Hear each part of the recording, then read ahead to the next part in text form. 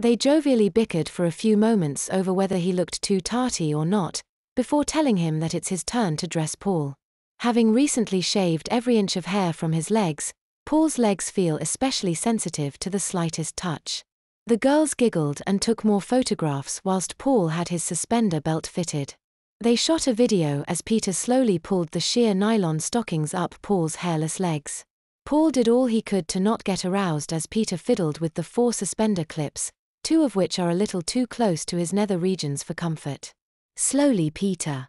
Audrey instructed as he pulled a pair of lacy panties up Paul's stockinged legs.